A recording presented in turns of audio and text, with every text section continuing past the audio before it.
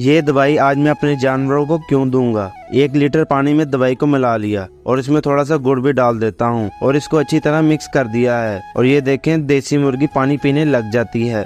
और बबली की तो दानों पर ही नज़र है। ये पानी इनके पेट के कीड़ों को बाहर निकालेगा, और मुर्गियाँ दोबारा से अंडा देने लग जाएँगी। बबली पानी नहीं पीती तो इसको टीके की मदद से पानी पिलाता हूँ।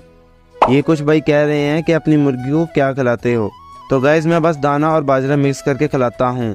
और इसके अलावा इनको कुछ भी नहीं देता। और बस ये खुली फजा में जितना रहेंगी, उतना ही इनके लिए अच्छा है। और ये भाई साहब कह रहे हैं कि बजिस लेकर आओ। दोस्तों, पहले जानवर रखने के लिए भी जगह नहीं है। पहले इनकी कोई घर की सेटिंग करेंगे, फिर इंशाल्लाह बजिस भी लेकर आएँगे। ड्राको मुर्गी मज़े से खाना खा रही है। स्वीटी और व्हाइट मुर्गी को भी बाहर निकालते हैं, मगर लंबू मुर्गा इनकी जान ही नहीं छोड़ता। फिर ये डर कर इधर बैठ जाती है, और मैं लंबू मुर्गे को जल्दी से दूर भगा देता हूँ।